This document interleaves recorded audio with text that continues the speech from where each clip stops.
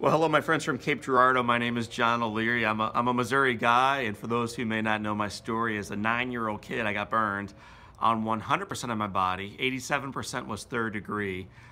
Was given no chance of surviving, and yet here we are, more than three decades later, hanging out. Leaves are falling. Life is good. I'm living in Missouri, married, four kids, great life, because the community showed up in a profound way and washed over me with their guidance, their coaching, their love, their grace, their ability to take a little boy who had no chance living forward into a young man who has the honor of sharing what is possible in our lives when we work for things even bigger than ourselves collaboratively.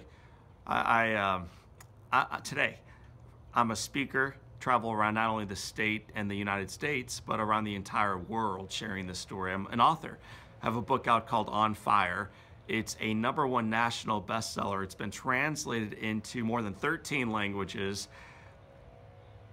And I have the great fortune of hanging out with you on November 6th as one community gathers to talk about what's going on, how we got here, where here even is, where we can go, what the next steps might be to get us there, and what each one of us individuals can do to ensure that we live into our best lives, not only individually or in our family units, but in our businesses, in our community, in our states, and beyond. It's going to be a terrific day. There are a lot of other things I would imagine you could be doing on November 6th, but my big ask is that you you put it on your calendar, not in pencil, but in pen, and that you see what this is all about. You realize again what our community in Cape is all about, and then ultimately you realize that the best is yet to come. So I'm looking forward to seeing you for this time. And until next time, November 6th, this is John O'Leary and my friends, Cape Girardeau. This is your day.